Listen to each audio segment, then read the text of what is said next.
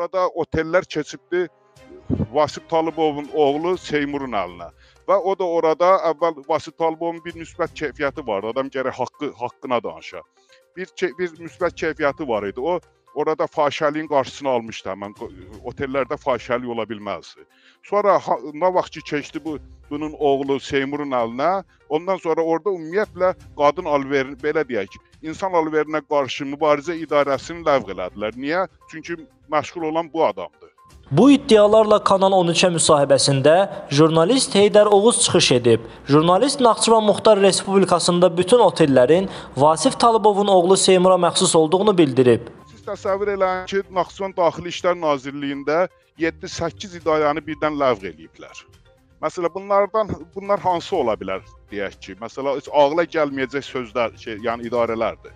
Baxın, biri narkotikaya qarşı mübarizə idarəsi. Siz təsəvvür eləyin, Naxçıvan Daxili İşlər Nazirliyində narkotikaya qarşı mübarizə idarəsi yoxdur. Bir ikincisi, insan alverinə qarşı mübarizə idarəsi yoxdur. Yəni bir çox belə mühüm idarələr yoxdur.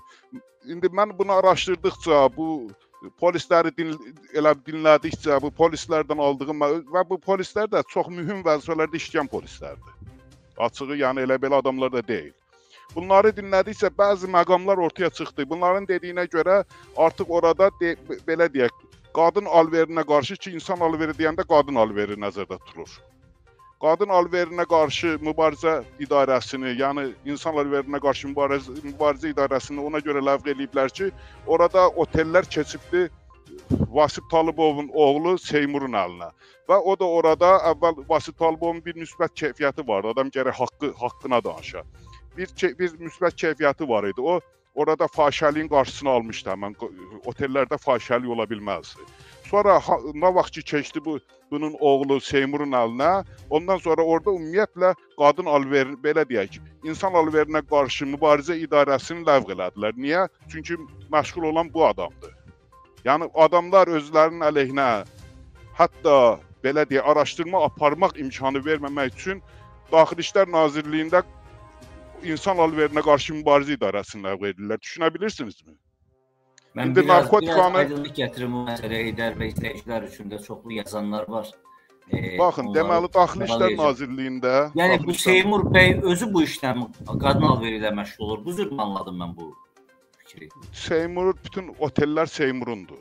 Otellərdə Aha, indi qadın alverini, alveri artıq rəvac halına gətirilib Naxçıvanda. İndi yəni İrandan gələnlər var, nə bilim oradan burdan gələnlər var. Özü ilə qadın gətiril gətirə bilirlər.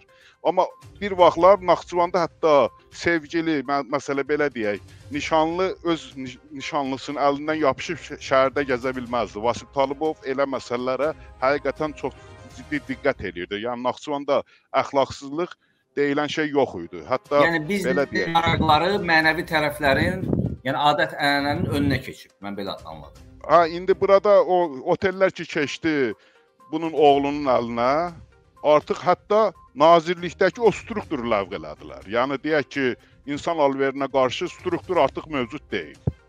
İndi narkotika niyə mövcud deyil? Narkotikaya qarşı mübarizə idarəsi necə, yəni niyə mövcud deyil? Bu da burdan anlaşılır. Yəni deməli orada həm də narkotika ilə məşğul olmağı, yəni məşğul belə deyək, narkotika satışını təşkil olunma edənlərin cəzalandırılmasının qarşısını almaq üçün bir də onu ləğv ediblər. Yəni məntiq bunu deyir. Yəni yəni, yəni təsəvvür edirsiniz?